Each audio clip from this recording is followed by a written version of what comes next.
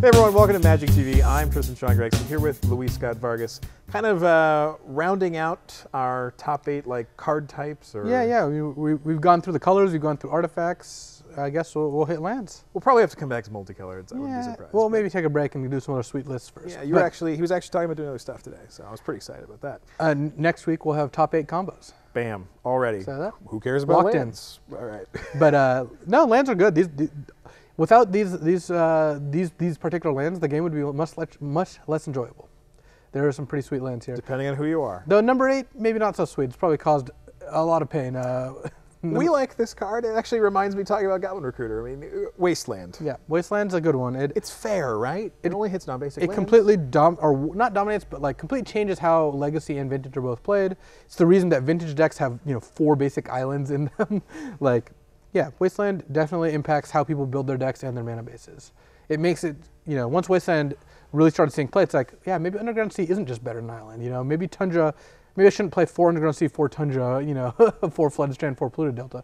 Maybe I should play like three of each dual and a couple of basics, etc. It reminds me of uh, Webb's vintage deck, where his one proxy was his his island. Yeah, he exactly. Needed, he needed an island. So there you go. Wasteland, uh, Uh, it's pretty solid number eight. Moving up from number seven seems pretty obvious. I mean, dual lands, the, orig- the original. yeah, the original cycle of you know taiga, tundra, badlands, underground, etc.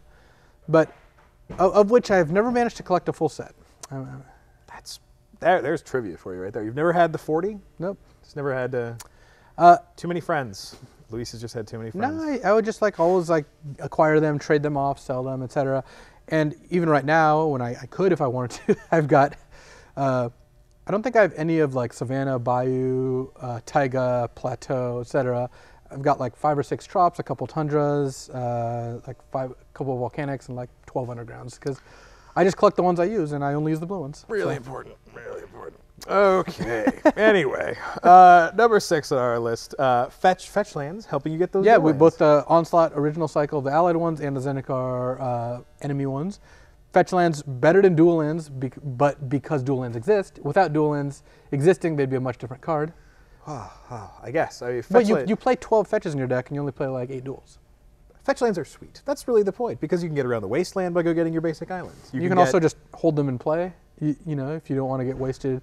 Uh, Zendikar really helped us with that, with all the landfall triggers. It really kind of brought it to the forefront. It was, you Yeah. know, back before that, it was more like, oh, my divining top, or like, you know, I don't want you to be well, able it to works for mine Sensei's. Divining Top and Brainstorm. Like fetch lands are more important than dual lands for, for, for Legacy. Like if you had to choose one to get rid of, I would get rid of the duels, and you could play Ravnica duels, and it would make a lot of decks worse. You know, make burn decks better. But without fetch lands, a lot of decks just wouldn't work anymore. So fetch lands are incredibly important, incredibly powerful.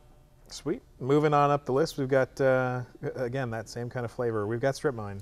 Yeah, this is a pretty backbreaking card. It always feels so unfair in vintage when you're like, you fetch an island, you play another island, you're like, haha, and then they go strip mine. It's like, man, I'm playing all these crappy islands to play around Wasteland, and you just have the actual strip mine, the one of, and then they play Crucible, and it's just over. Yep. so Yep.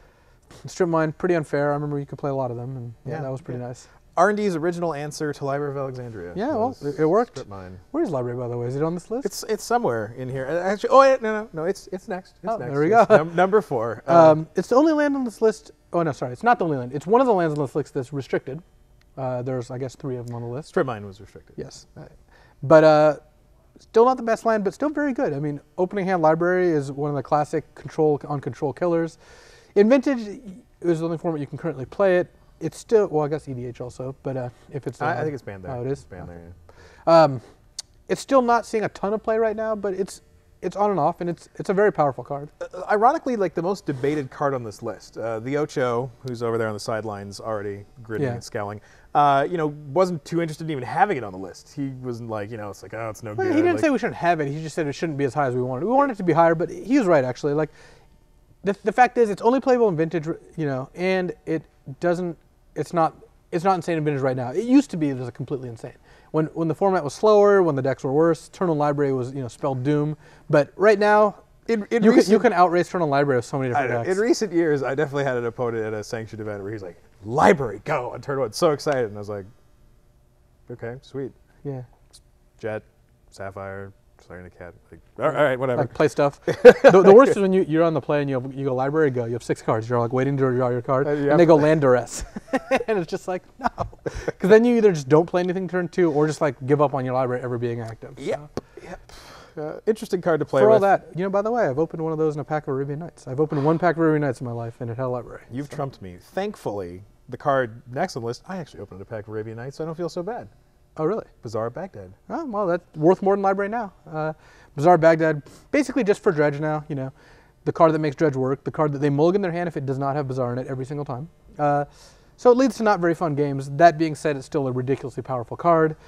People used to try to play it in all sorts of, you know, madness or reanimator decks. No, just if you're going to play Bazaar, just Dredge. Otherwise, don't play Bazaar. There's some sweet Basking Rootwallas, Yeah. Like stuff happen, like So other all the- things. there's the workshop decks that play like, you know, Goblin Welder Bazaar or Uba Mask Bazaar and try to try to get big. But yeah, that's cool stuff. yeah, I, I think this this card has some really sweet abilities on it that like you're just never gonna see. Like draw two on a card. What? Were you crazy? on a And then- land, uncounterable. yeah, land like discard three, uh, also on a land. So yeah, Bazaar, like- Bazaar Baghdad's a pretty big game. But uh, more vintage staples. Moving up to number two on our list, Mishra's Workshop. Yep, uh, this card. I remember when it got unrestricted and went from thirty dollars to two hundred or whatever. Uh, it's the enemy. I mean, despite the fact that I played in that one tournament, you know, at Worlds, I, since then I've pretty much, you know, been playing the deck that it's designed to beat. Which, because Mishra's Workshop always casts brutal stuff like Thorn of Am- Amethyst, Sphere of Resistance, Trinisphere, now Lodestone Golem, Tanglewire, Smokestack. Yeah, it's got some nice ones. I'm always trying to fight it with my basic lands and Force of Wills, but not always successful because Stacks is still still a good deck. Uh, yeah, it's a sweet card. I think that it's uh, surprisingly designed well, but you can't use it to activate artifacts. I remember thinking that uh, Mishra's Workshop was restricted, so you couldn't go three workshops play Colossus of Sardia. That was, you know, that was my thought. I was the like, justification at first, you're like, oh, I was like, well, yeah, th- th- turn three Colossus of Sardia would be too good. You can't do that. I mean, this is this is a long time ago. I Let me tell you. You, know, you can't even untap it. I know. I hadn't gotten that far. okay, okay, okay. But yeah, turn one Juggernaut, thing of the past. Turn on Lodestone Golem. Now that's a beating. Yeah, there you go. Uh, number one on the list. It seems kind of obvious to us. A lot Yeah. of vintage. Like, Abandoned Legacy, Restricted Vintage. How did this card ever get printed? I don't understand. It doesn't Well, what, what if you only have two artifacts out? Then it only taps for two blue. We got Tolarian Academy, of course.